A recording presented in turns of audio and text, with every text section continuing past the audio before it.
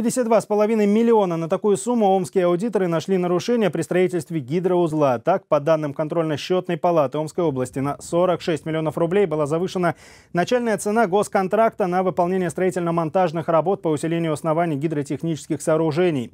Кроме того, оплачены работы, которые фактически выполнены не были. Например, водопонижение – это 5 миллионов бюджетных рублей и строительство судоходного шлюза – 616 тысяч.